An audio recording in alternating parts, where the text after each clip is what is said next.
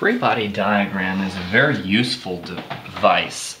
I'm going to call them FBDs, free body diagram.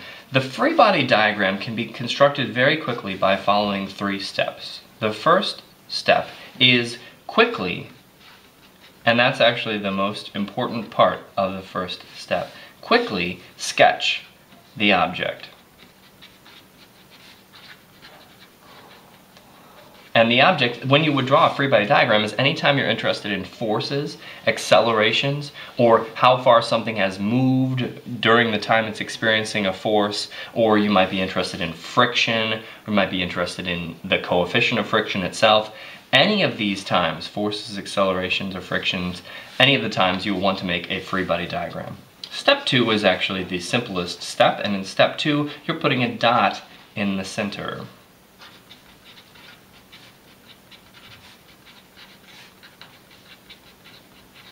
In step three, you're drawing all the forces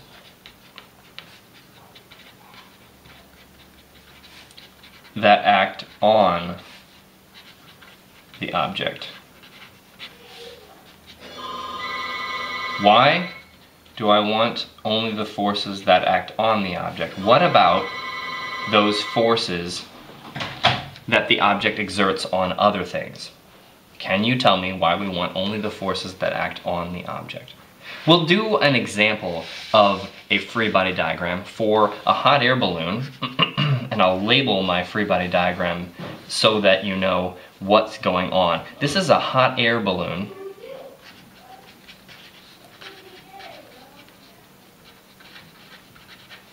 Rising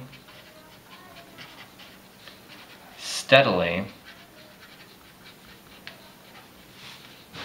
in a huge wind. Okay, so first I sketch a hot air balloon. Done. Second, put a dot in the middle. Done. Now it's step three. Step three, I'm going to get a different colored pen, you know, live it up. There are three forces that I want to draw on this hot air balloon. One of them is the force of gravity. I will always draw the force of gravity first because when there's something near Earth's surface, it's going to have the force of gravity and I'll write it as m times g. The next step is to notice that it says rising steadily. So that gives me a clue as to how big the lift force is, or the buoyant force, we could call it, on this hot air balloon. It tells me that it's rising steadily, which means it's in equilibrium. Check it out. We can go over here and look at equilibrium again. Equilibrium means the acceleration is zero, the net force is zero, the velocity is constant. So we don't know that the hot air balloon is in equilibrium as a whole, but we know that in the y direction, let's establish the y direction as up, in the y direction, the hot air balloon is in fact in equilibrium. So we'll say that this is the force of lift, or we could also call it the buoyant force. And then there's one more force. I'm saying it's an extremely windy day, so I'm going to say that the wind is pointing this direction. The wind is blowing the hot air balloon.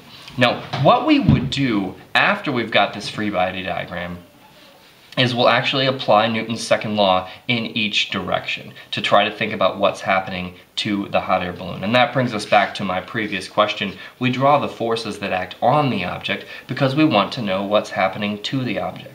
And the only things that can affect the motion of the object are the forces that act on the object. The object moves because of the forces it experiences.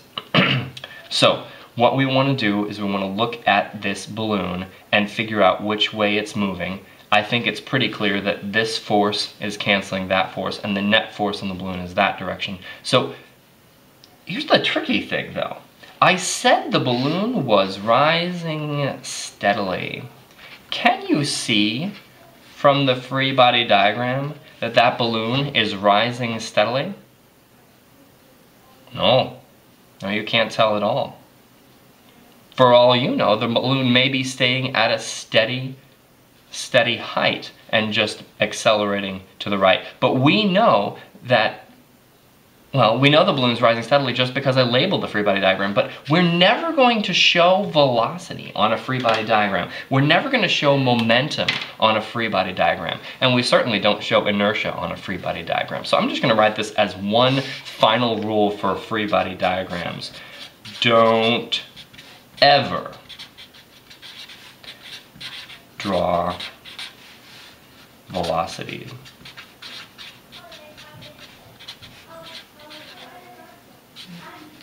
or momentum. Velocity is completely irrelevant for the acceleration of the balloon, and that's what free body diagrams can tell us. Also, momentum, completely irrelevant for the acceleration of the balloon.